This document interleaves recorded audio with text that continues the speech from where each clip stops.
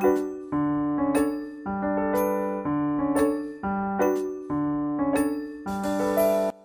さんおはようございます。ミキーです。はい。今私は築地にいます。今日は築地にあるお寺に美味しい朝ごはんを食べに行こうと思います。それでは Here we go! はい今私がいるのは日比谷線築地駅です。で今日行くお寺は駅からめちゃくちゃ近くてはいここすごい近いですよね。ちなみに私はホームの関係で2番出口から出たんですけど反対側にある1番出口からの方がもっと近いです。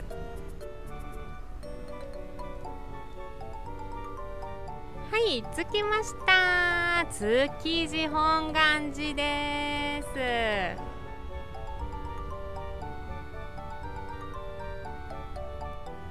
で本日朝ごはんをいただくのはこの築地本願寺の中にあるカフェつむぎです。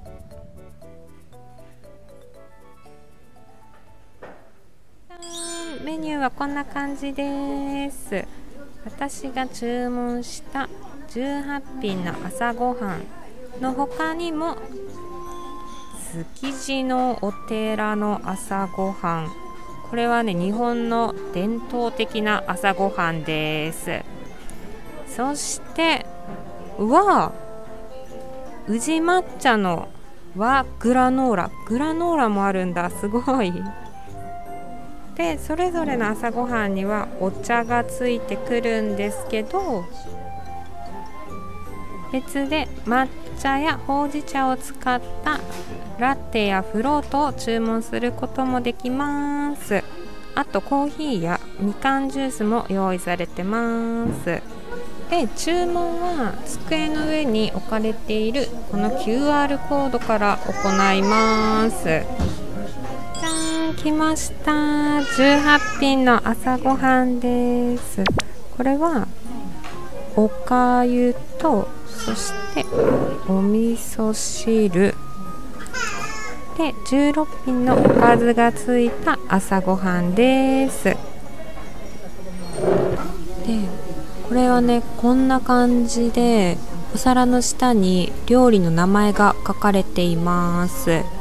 英語の名前もあるから日本語わからない人でも楽しめます。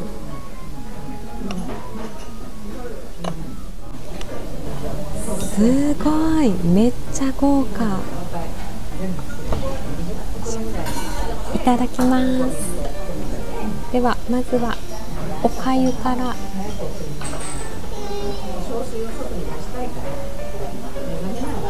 うん。優しい。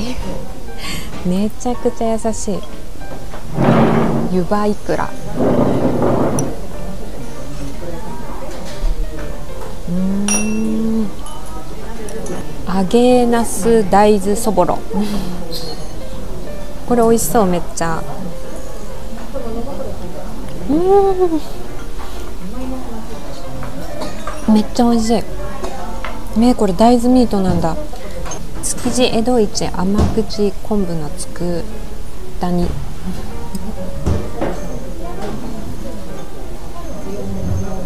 うん。めっちゃ美味しい。築地鐘楼の卵焼き。これは築地で有名な卵焼き屋さんの卵焼きです。めっちゃ美味しい。海苔明太子。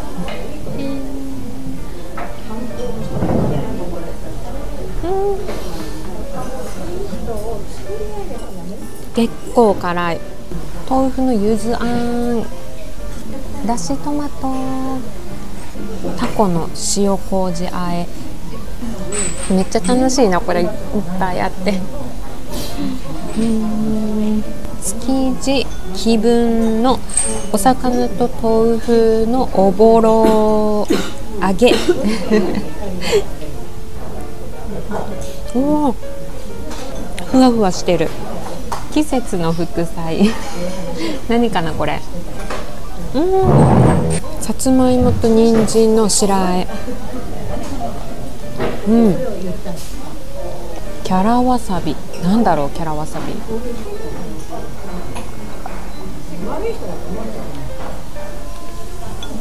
里芋田楽。うんま里芋って皆さんの国にもありますか？なんかねちょっとネバっとしたお芋めちゃくちゃ美味しい。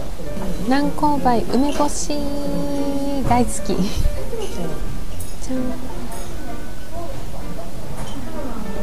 うん。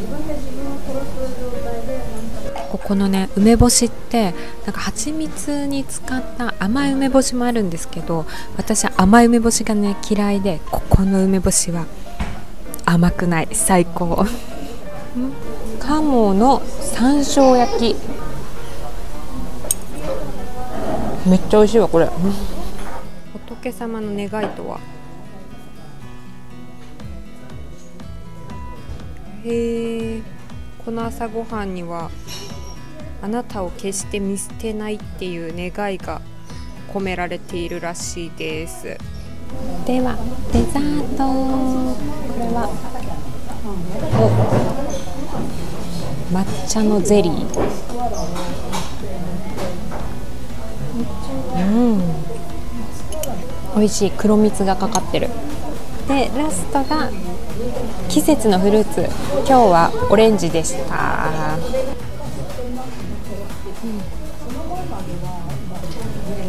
美味しかった。